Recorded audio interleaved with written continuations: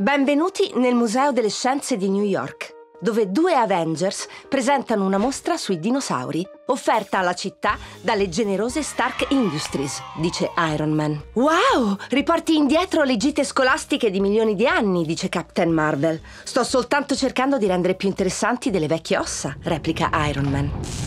Ma la discussione viene interrotta. Dimmi che è un trucco per la mostra, dice Captain Marvel. Purtroppo non è così. L'inaugurazione viene interrotta dal malvagio Ultron. Il nemico robotico minaccia di insegnare agli umani cosa vuol dire estinguersi. Iron Man non è turbato. I robot rappresentano il futuro, ma Ultron, che fallisce tentando di sconfiggere gli eroi, è storia vecchia. Oh oh, Iron Man ha parlato troppo presto. Il TR-3X di Ultron mette in difficoltà il nostro eroe. Captain Marvel è troppo impegnata. Perché Ultron non ha degli scagnozzi normali come gli altri cattivi? Ma Ultron ha un altro asso nella manica. Un raggio a impulsi elettromagnetici. L'armatura di Iron Man resta senza energia. I bambini sono al sicuro, dice Captain Marvel.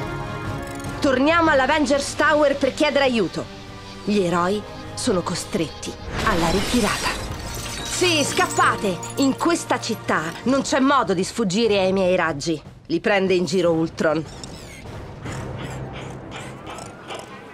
Intanto, il re del Wakanda, Black Panther, si gode la visita della sorella, la principessa Shuri.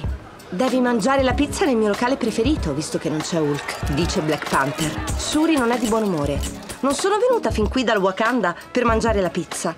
Sono venuta per unirmi agli Avengers e combattere al fianco di Black Panther, risponde. Shuri, è molto pericoloso essere un Avenger. Lei cerca di controbattere, ma Black Panther ha ragione. È pericoloso. Ultron ha hackerato il monitor. Dice agli umani che la loro specie non si merita la tecnologia, quindi la metterà fuori uso. Il raggio di Ultron coprirà la città e riporterà la vita all'epoca preistorica, un'era in cui i suoi robot dinosauri sono l'unica tecnologia. Ultron non stava bleffando, dice Black Panther.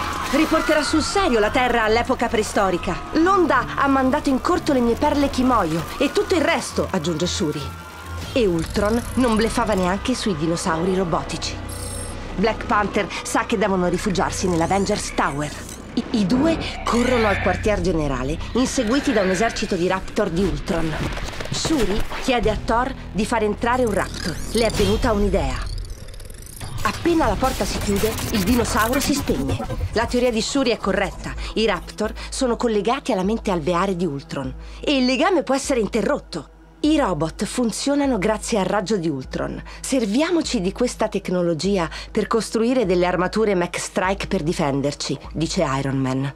Shuri gli offre il suo aiuto, ma Iron Man replica: Grazie, questa roba per me, Shuri. Ma i dinosauri cercano di sfondare la porta e Captain Marvel ricorda ai due che devono collaborare per evitare di venire sbranati.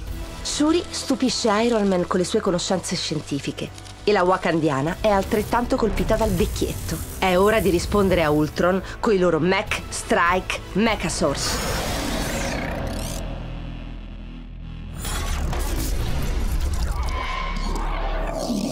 Continua.